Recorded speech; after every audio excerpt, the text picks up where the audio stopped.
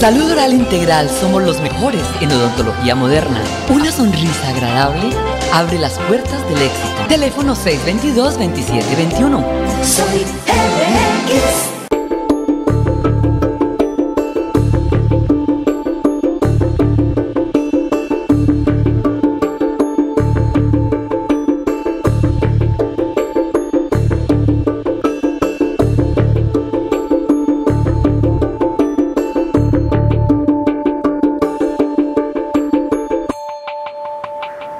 muy buenos días, amables televidentes, bienvenidos a Primero la Salud, como todos los martes con invitado especial, el doctor Samuel Larios.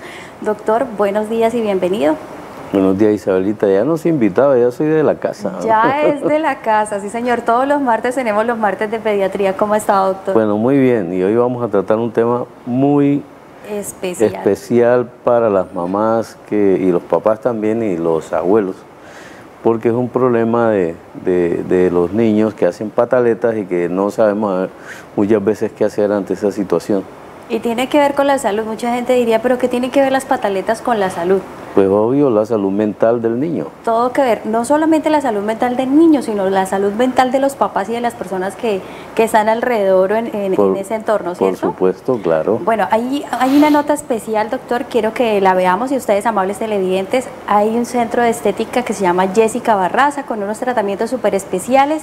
Vean ustedes la nota que le tenemos preparada. Los saludo desde el Centro de Estética Jessica Barraza, un lugar espectacular que cuenta con equipos de alta tecnología y que ofrece una amplia variedad de servicios que son realizados por personas expertas, capacitadas, con responsabilidad y por supuesto con amor para brindarle a todos los barranqueños siempre lo mejor. Un lugar que lleva más de 10 años en el mercado ofreciendo garantía en cada uno de sus tratamientos. Hoy los invito a disfrutar de la amplia variedad que tiene el Centro de Estética Jessica Barraza para todos nosotros. Bienvenidos. El Centro de Estética Jessica Barraza es un lugar de excelencia y tradición que lleva más de 10 años brindándole a todos los barranqueños experiencias de calidad en diversos servicios. Aquí usted encontrará una amplia y completa selección de tratamientos pensados para todo tipo de personas, donde obtendrá resultados rápidos y garantizados ya que cuentan con equipos de alta tecnología para tratamientos reductores, celulitis, rejuvenecimiento facial y depilación en láser definitivo. Y si quiere bajar esos kilitos de más que aumentó en estas largas vacaciones, el Centro de Estética Jessica Barraza tiene una excelente recomendación para todos ustedes. Este Kit Pro Detox, un producto médico natural que no tiene contraindicaciones ni efectos secundarios, que le va a ayudar a desintoxicar su cuerpo y también a bajar de peso. También tiene estas pastillas, la Zero Advance y las famosas Lipo Blue, que los van a ayudar a controlar la ansiedad y a quemar grasa localizada. El Centro de Estética Jessica Barraza tiene una amplia variedad en productos para balancear su alimentación, como malteadas, quemagrasa y también test que lo van a ayudar a desintoxicar su cuerpo. Además, encontrará una amplia variedad de servicios como pestañas pelo a pelo, depilación con cera italiana, depilación con hilo, bronceado instantáneo y sombreado de cejas. Cuentan con la última tendencia para embellecer y perfeccionar sus cejas con la tecnología de microblending de cejas pelo a pelo, cejas 3D y 6D. En estas instalaciones usted podrá disfrutar de espacios únicos y momentos de relajación inolvidables, acompañado de un equipo de trabajo humano, profesional e interesado por brindarle siempre lo mejor.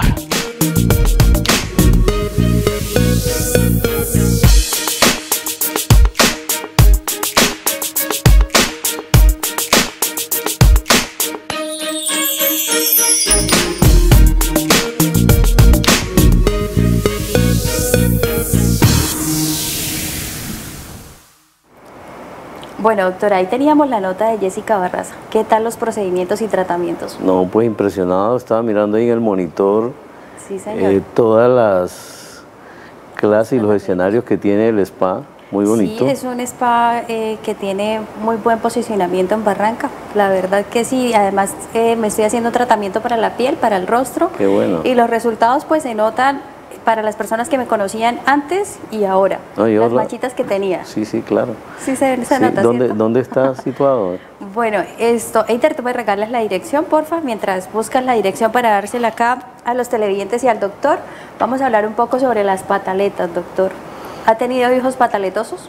Sí, es inolvidable. Una pataleta que hizo mi hijo una vez que veníamos por la autopista norte en Bogotá y entramos a un asadero previamente habíamos estado como en un sitio recreacional de niños y salimos de ahí, llegamos al asadero a almorzar y él se le dio por pedir no carne ni nada de lo que había ahí, sino crispetas. Ay, eso me acuerda. Crispetas en un asadero, pues no, era imposible. Sí. Y me ha formado este compañerito una tremenda pataleta que cada vez en esa época él tendría como unos cuatro añitos, tres añitos, algo así. La edad, ¿no? De las patas. Sí, y, bueno, cada vez que se la recuerdo, le da, se, pone colorado y dice, papá, ¿yo cómo pude haber hecho eso?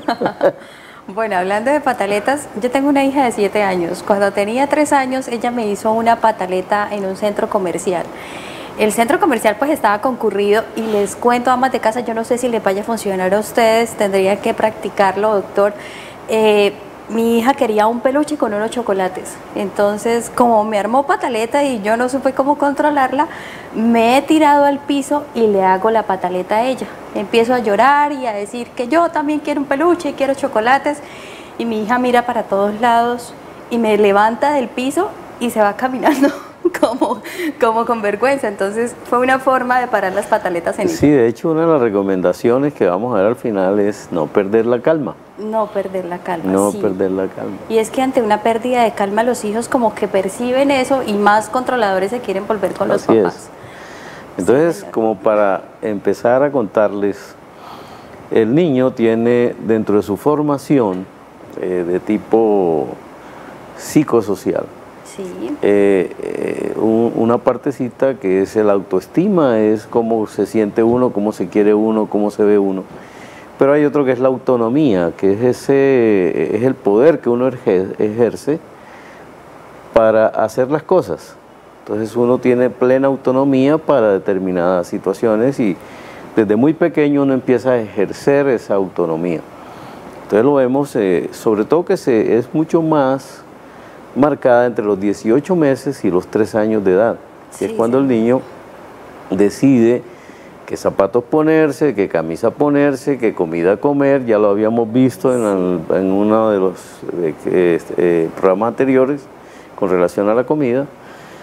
Entonces el niño decide en esa época de su vida qué es lo que él quiere y cómo lo impone. Depende de nosotros el poder ir persuadiéndolo poco a poco de que no en el mundo no es todo lo que él quiera, sino lo que se pueda ganar con esfuerzo y lo que en un momento dado pueda obtener, porque no todo siempre lo va a tener. Entonces depende mucho, mucho de que nosotros sepamos cómo conducir eso. Sí, señor. Bueno, tenemos una nota con una escena muy bien recreada. Ustedes no se muevan, vamos a ver la nota sobre las pataletas y ya regresamos para continuar hablando con el doctor Samuel Arios.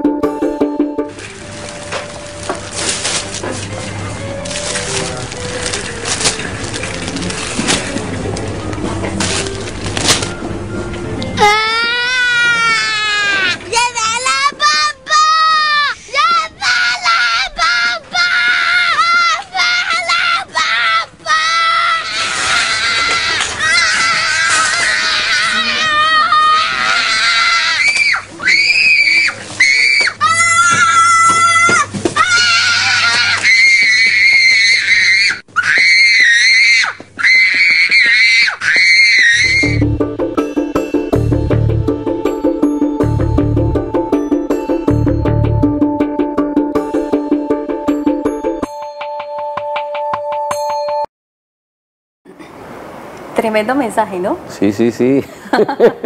no era el propósito, pero, pero lo que queríamos mostrar es eh, eh, eh, que este es el escenario general, en el 90% de los casos, los niños buscan un escenario público.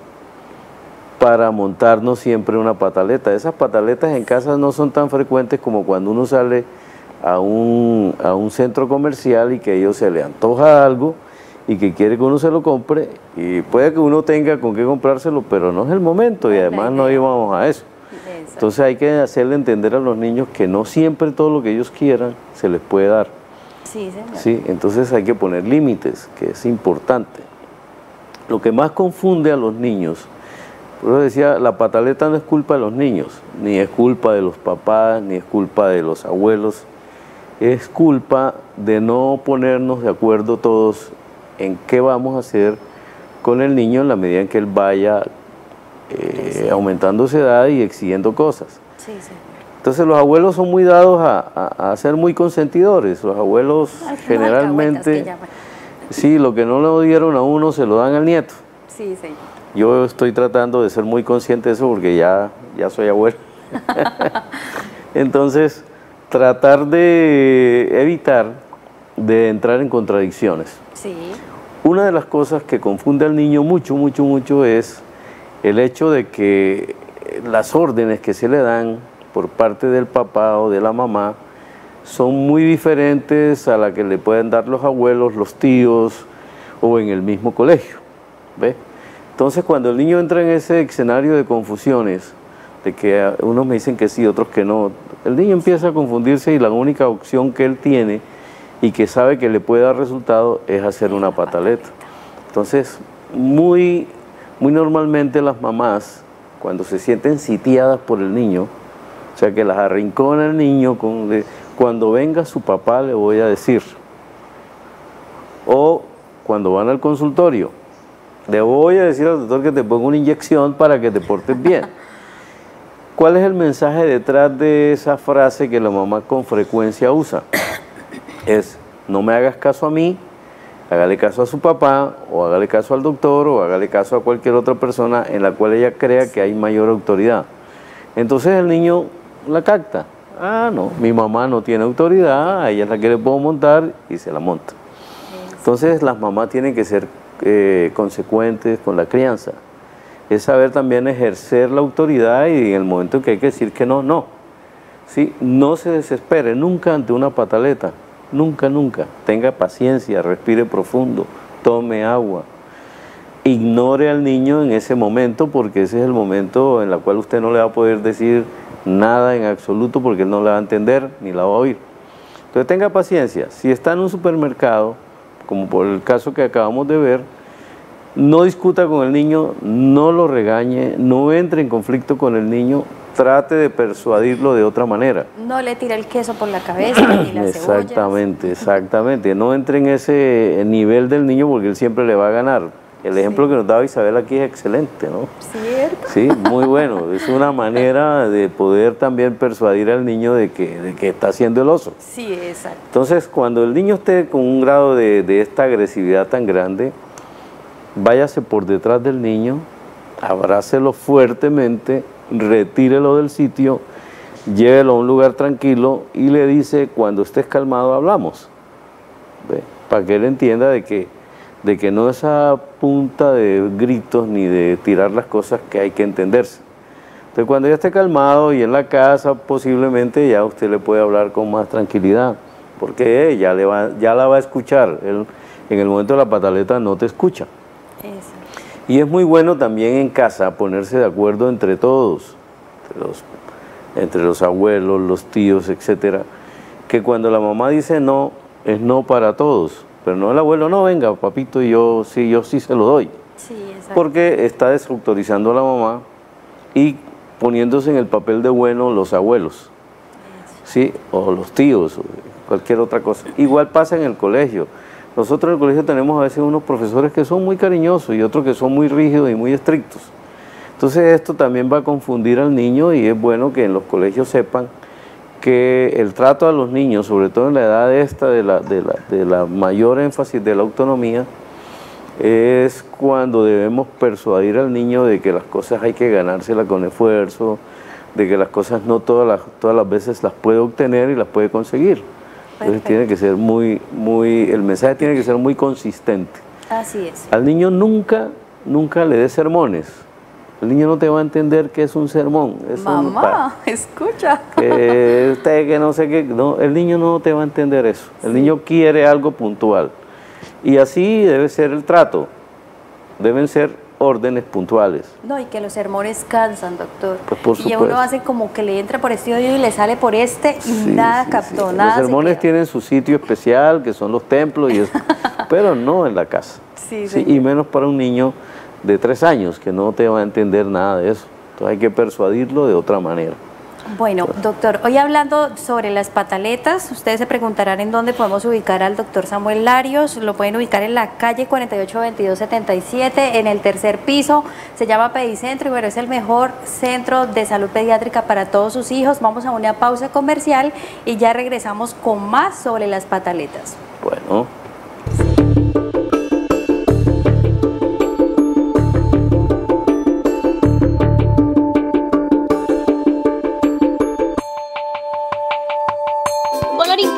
Para ti peinados infantiles, cortes para niños y adultos, cepillado, planchado, corte para caballeros. Visítalos en la carrera 27, diagonal 4926, Parque de la Vida y en la sucursal de la calle 29B, número 4008, Barrio El Cerro. Te esperamos. Para una madre, lo más importante es el bienestar de sus hijos. Centro Médico de Pediatría Pedicentro, salud para tu hijo. Ofrecemos servicios a prepagadas y particulares. Visítanos. Casamuebles Galería, para tocar lo mejor, visítanos en la calle 49, número 2079, teléfono 620-1962, Barranca Bermeja. Visita Magda Agudelo, innovación, calidad y buen precio en cuidado corporal y de la piel, además de servicios profesionales en cortes, tintes, maquillaje y asesoría de imagen. Sala de Belleza Prince te brinda lo último en tendencias en tintes, cortes, peinados, diseño y sombreado de cejas, extensiones de pestañas, pelo a pelo e innovación anti-envejecimiento en el cuidado de la piel y mucho más. Muebles rústicos El Bosque con garantía total y madera de la más alta calidad. También encuentras filtros purificadores de agua. Visítanos en la calle 49, número 2122 y 2126.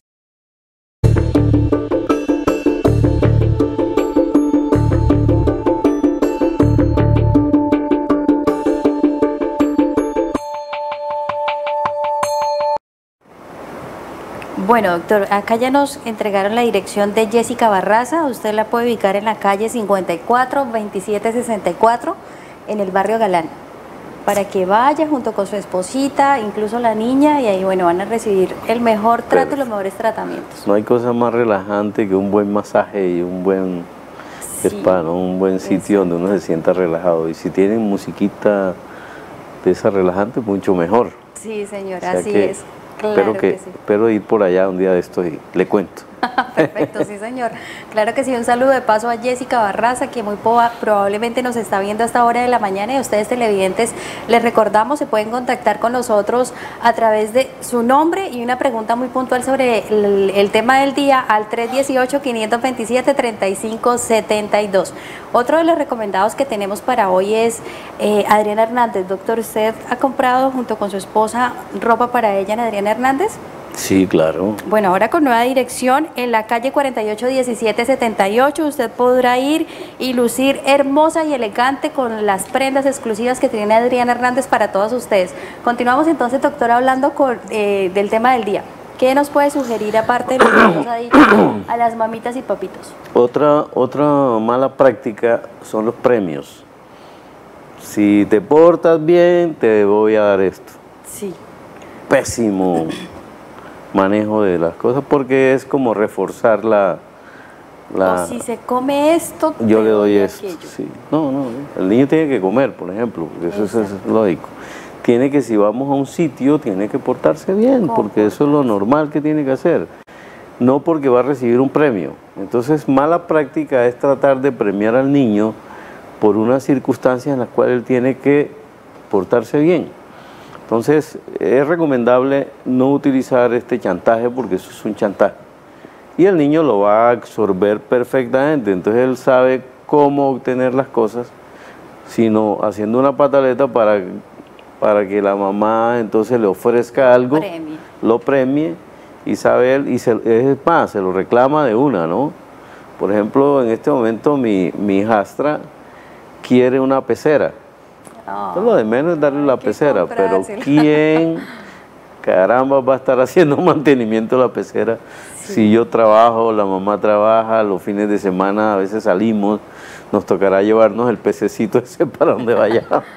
Entonces, los niños piden a esas cosas, hay que persuadirlos de que, de que eso tiene un trabajo, de que tiene unas circunstancias difíciles para poder uno, eh, igual que cuando se tiene una mascota, un perrito y estas cosas.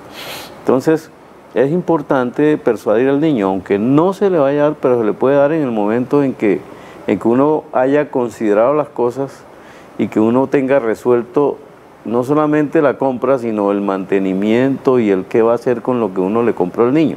Cuando ya esté dispuesto o listo para adquirir esa responsabilidad. Pero por supuesto, o sea, que él entienda qué es eso. Pero muchas veces eh, terminamos metiendo nosotros, nosotros en la grande cuando empezamos a darle al niño cosas que después no sabemos cómo quitárselas. Se las dimos y después nos vimos que estamos metidos en la grande y para quitárselas es más difícil. Por eso entonces hay que, hay que premiar al niño, sí, porque al niño hay que premiarlo por los logros que tenga en el colegio, porque eh, de pronto hay una situación en la que él se merezca sus cumpleaños o que eh, hizo algo fuera de lo, de lo común, sea, cosas positivas que le permitan obtener un premio, pero no por cosas negativas, o sea, una pataleta es una cuestión negativa y no por eso hay que premiarlo. Entonces es importante eso tener en cuenta. Eh, como los más alcahuetas son los abuelos. Qué fama la que se echan los abuelos. Los abuelos, porque un abuelito quiere ser muy chévere con el nieto. Sí, lo que no hizo con el hijo, pues la responsabilidad de la crianza ya es del hijo, entonces el, que le pegue él, no yo. Pero no desautoricemos a, a, nuestros hijos, o sea, los papás de los nietos, en, cosas en las cuales es importante reforzarle al niño de que la autoridad lo tienen los papás y que ellos son los que deciden qué o no hacer. Por ejemplo, en el caso mío, en que la niña muchas veces se acerca a mí porque la mamá le ha dicho que no, siempre le digo, lo que diga tu mamá. ¿Qué te dijo ella? Me dijo que no, le dije, bueno, entonces no. Cuando tu mamá te diga que sí, entonces yo con mucho gusto te complazco. ¿Por qué? Porque si yo accedo, entonces ella va a terminar en conflicto con la mamá. Y lo que yo menos quiero en mi vida es tener un conflicto con la mamá. ¿sí? Entonces, es importante eso. Entonces, papás, por favor, eh, nunca desautoricen al otro en estas circunstancias en las cuales los niños los confrontan y los prácticamente que los, los sitian, los, los arrinconan ustedes no deben ceder. Tranquilidad ante todo, no perder la calma es lo más importante en una pataleta. Retire al niño del sitio con mucha tranquilidad, háblele con amor, no lo regañe. Tranquilo hijo, ya hablamos, cálmate y cuando estés calmado podemos hablar. De manera que el niño entienda que cuando esté tranquilo el papá va a escucharlo, porque al niño hay que escucharlo y preguntarle qué es lo que quiere y por qué lo quiere. Pero no, no, el niño nunca está preparado para un no. Los niños, la palabra no para ellos no existe. ¿Ve? Es una palabra de regaño, como de cohibirlos, etcétera. Entonces el no se puede decir de muchas maneras, con mucho cariño, con mucho amor, sí, con mucha ternura, y que el niño entiende, porque el niño es más lúdico, el niño no es, eh, no es el adulto que usted le dice, tienes que hacer esto, no vas a hacer esto, etcétera. Y ya uno verá pero el niño es más lúdico, es más juguetón, ¿sí? no entiende las cosas como mandato, sino que las va a entender con mucho amor, con mucha paciencia y tranquilidad. Perfecto. Doctor, recomendémosle, no sé si tenga ahí en pensamiento algún libro. Es importante la lectura también. Nosotros no nacimos aprendidos como papás. ¿En dónde está el libro donde podamos aprender? Hay un, libro muy que lo compré yo hace muchos años, se llama El Niño Difícil. En esa época era editorial Norma, no sé si todavía, de el doctor era un doctor Tureki, ¿sí? que él eh, es estudiante de medicina, tuvo una bebé y esta bebé le complicó la vida y terminó haciendo psiquiatría infantil para poder entender cuáles eran los problemas de, su, de, de su comportamiento de la hija. Entonces él en ese libro una serie de pautas, y sobre todo para los niños de estos niños que son hiperkinéticos, que son supremamente traviesos, que la mamá termina diciendo yo, ¿para qué carajo tuve este hijo? ¿Sí? Como el comercial. A los que alcanzaron a ver el mensaje final. Bueno, ese no era. Pero entonces, eh, la verdad es que a veces se nos convierte más que en una felicidad, en una tortura, ¿sí? Mm. Y más si a uno no corrige el niño desde pequeño, lleva a llegar a un adolescente difícil y a un adulto. ellos, ¿no? Más que los Y a un adulto difícil. Exactamente. Entonces todo depende de cómo nosotros le vamos introduciendo valores a este niño, de que todo en la vida no puede ser sí, de que todo en la vida no se gana con una pataleta, de que las cosas en la vida hay que lucharlas, ganárselas con mucho esfuerzo. Perfecto. Doctor, ya despedimos, nos tenemos que despedir de los televidentes. Es corto el tiempo acá en Primero la Salud. Sí, hemos tratado de resumir al máximo, estos son temas mucho más complejos y que seguramente los puede manejar mejor un psicólogo, un psiquiatra que, el pediatra. Yo trato de decirle a ustedes cosas muy puntuales, muy puntuales de manera que ustedes aprendan a manejar la situación en los momentos más críticos. Listo. A ustedes, amables televidentes, muy amables por acompañarnos. Les recuerdo mañana miércoles con A Pedir de Boca y las mejores recetas en compañía de Sergio. Nos vemos en una próxima oportunidad. Recuerden primero la salud, lunes y martes, 10 y 30 de la mañana. Hasta la próxima.